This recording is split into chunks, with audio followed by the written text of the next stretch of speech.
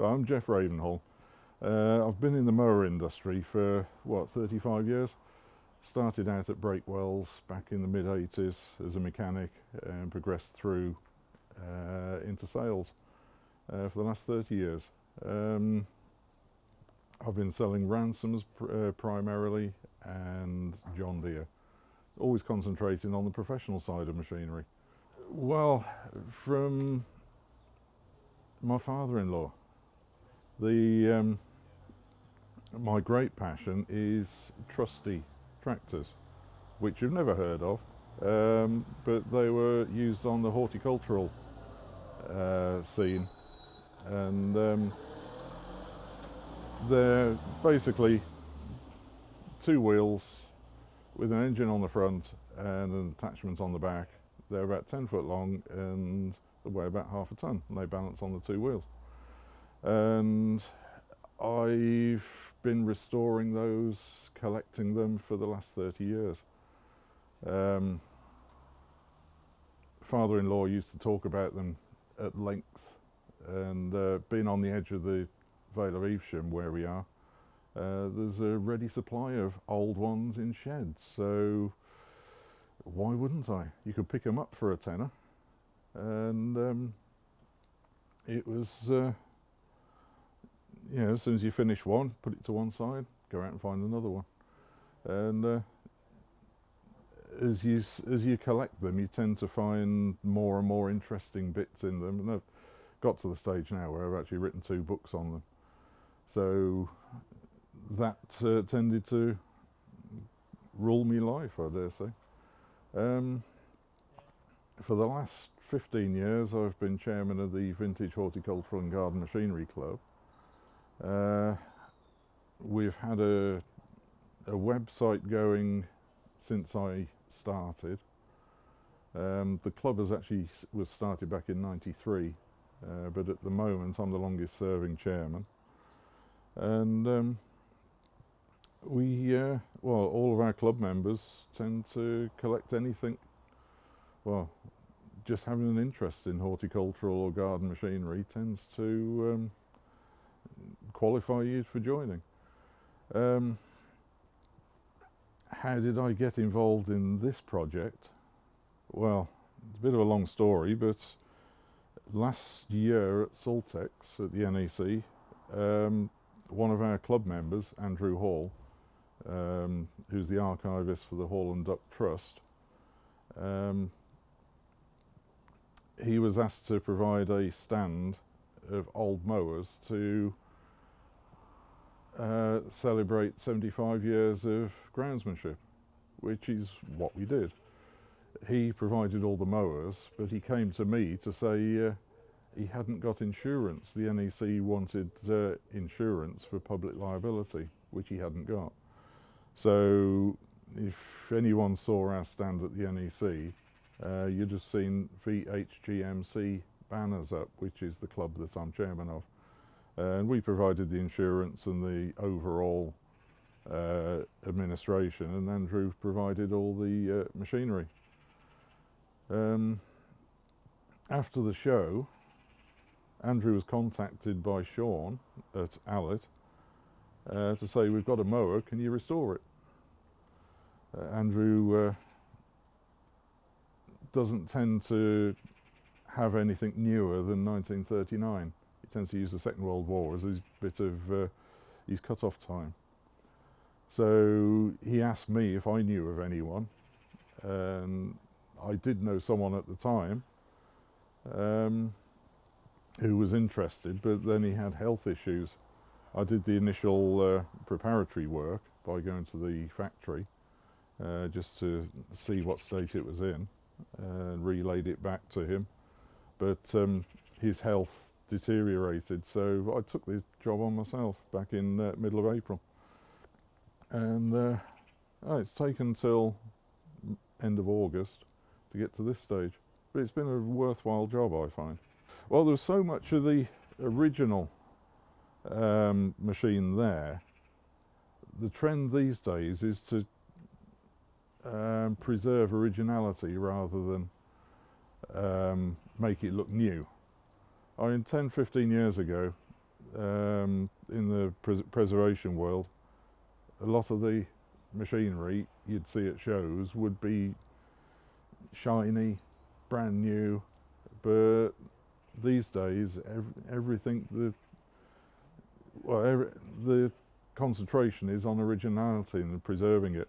I mean, the way I the way I talk to people at shows, you know, if they say, "Well, he looks a bit bit mucky," yeah, but it's original. And the big thing is, originality is only there once. If I'd taken this and shot blasted it and painted it new, all its history is gone. So you've got to try and preserve as much of that history as you can.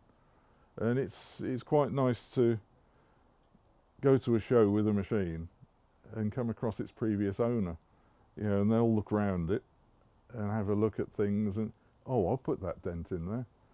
Yeah, and yeah, my work is done in that case. Um, I've left the dent. Yeah. so yeah, it might not look all shiny, but you could you can actually argue the fact that a lot of the um, machines that used to win prizes at these shows um, were overdone. They never used to look as good as that.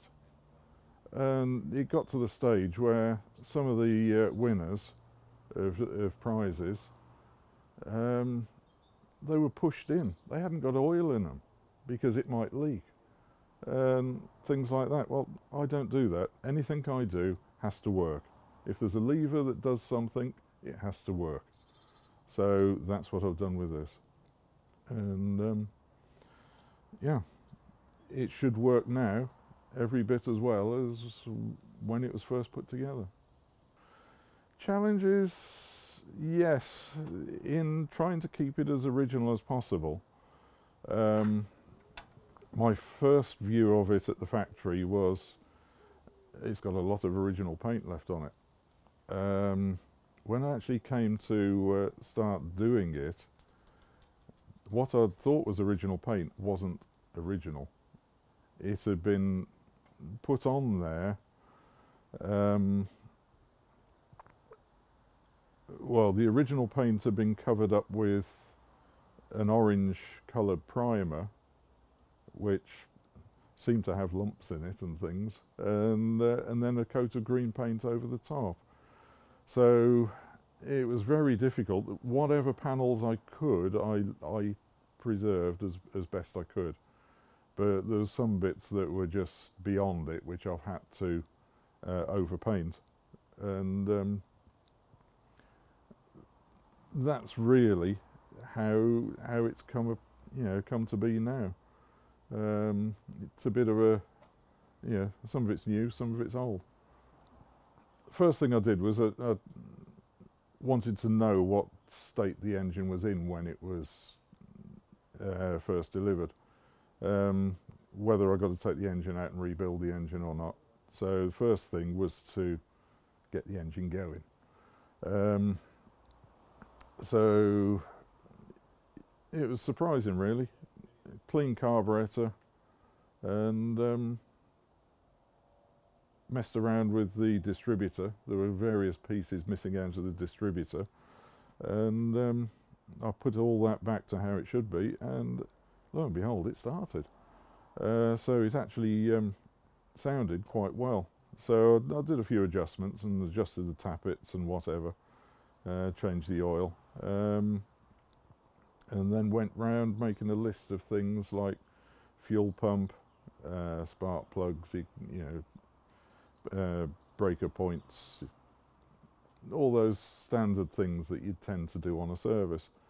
And um, looked on the uh, Reliant Owners Club website and found that one of the chaps that was advertising parts was quite close down by Malvern. Um, so I went down there with a shopping list and got most of the bits. Some of it, some of the parts were new, uh, manifold gaskets and things, and rocker cover gaskets. But uh, one thing I wanted was uh, an engine oil filter, and uh, the chap there said, uh, "Afraid not. I've been cleaning those out with white spirit for a long time and putting the old ones back on. You won't get one of those now. So, um, well, I put this on our uh, club forum on a blog that I was doing on there, and um, couple of days later, uh, two of the lads down in Sussex came back and said, "Have you looked on eBay at this?" And it was a Morris Minor oil filter, and it looked the part. So, and it was ten pounds plus a bit of postage. So I thought, well, for ten pounds, I'll chance me arm. And when it came, yeah, it fitted. It was about half an inch longer than the than the one I'd taken off, but I thought, well, I'll try it. And um, yes, the, as you can see, the cover fits. It's very close, but there's about a quarter of an inch gap there, and the gap's a gap. So why not? So yeah, and there's all sorts of little bits and pieces that um, I've come across. You know, I've used in the main. I've used um, local suppliers to recondition bits. You know, like the uh, radiators had a recore, um, but the uh, the chap that did it has kept the original maker's plate soldered to the header tank, which I asked him to do. Which, you know, if you send it away and get it done on a factory production line, you wouldn't get that kind of service. So I've tried to tried to use local suppliers wherever I can. Uh, same with the dynamo. Um, I've used um, this local chap for all the stuff I've used at work, and uh, yeah, absolutely mustard. So yeah, always try and use local people where you can. One of the one of the things that I've found most valuable every now and again, I've come across something that I can't answer. Um, something tricky because somebody else has maybe had a mess with it. So I've found it very valuable to have um, the phone number for Roy Allett. And he's always answered the phone, no matter when I've phoned him. And he's always had the answer to hand. Absolutely brilliant. Uh, so you can't you can't put a price on that kind of information. And he's always come you know come up with uh, with the answer that I've wanted anyway. So um, thanks very much, Roy, if you're looking. well, now it's off to um, it's off to the uh, reception area at the Allett factory at Hixon. Uh, so um, yeah, I'm going to have to have a look for something else to fill my garage now. But uh, I hope you uh, take good care of it. It's uh, it's taken about four months of my life, and uh, there's a lot of me in this now. So take good care of it, please. Can we start it up? I'll start it up and oh, hang on. Make sure it's not in gear. Start.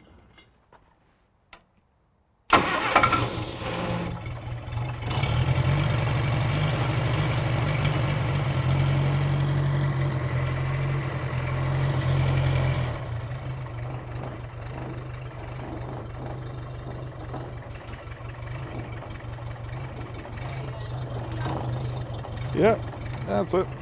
It's a bit cold at the minute, but uh, when it warms up, it's absolutely perfect. For an engine that hasn't had any work done on it internally, it's absolutely brilliant. So I can't, uh, I can't emphasise, you know, the quality of these engines. Absolutely brilliant. I'll turn it off. Petrol's a lot of money these days.